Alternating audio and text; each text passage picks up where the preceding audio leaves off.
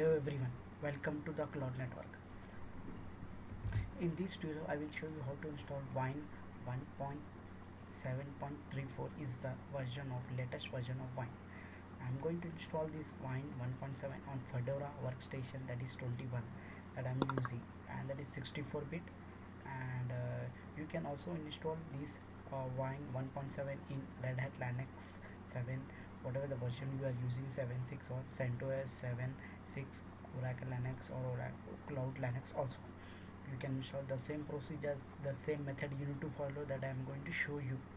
So the every step and every command you will find below to my video in the description box every steps. So this is what you need to install the first of all repository I am going to install the first step and the second step.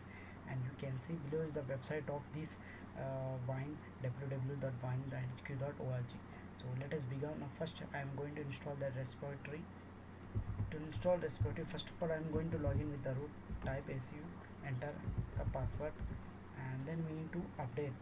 So to update type yum type update. After that you need to press enter here uh, which I have already updated now.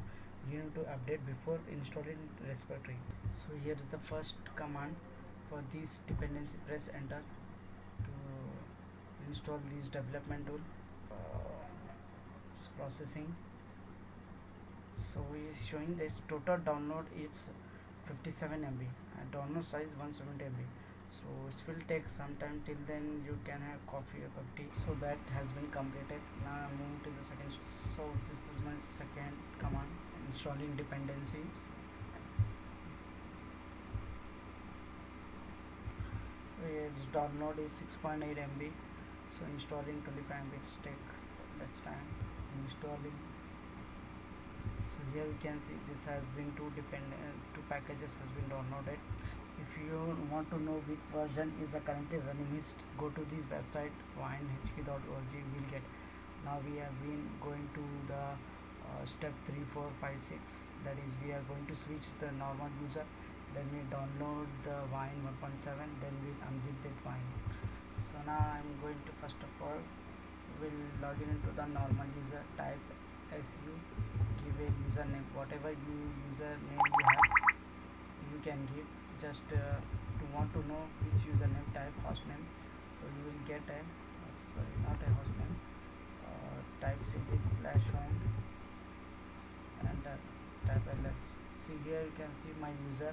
I have created one user with a cloud name.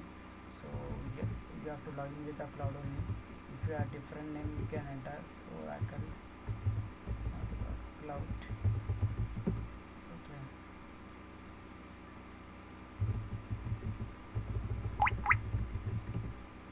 Now type cd slash temper we are in going inside the temporary file.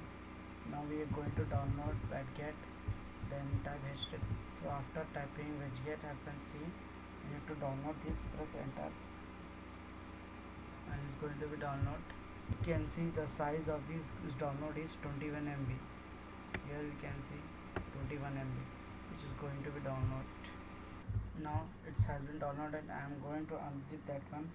Type tftar give space hyphen xvf then space then type wine press tab key to get full command and give a space hyphen capital C there is space slash 10 slash press enter. So here it's going to be extracting. This has been extract. Now type cd wine press tab key to get full command press enter. Now it is go we are go inside the folder of wine so now type dot slash configure okay then give space hyphen enab enable then you need to uh, give a hyphen again.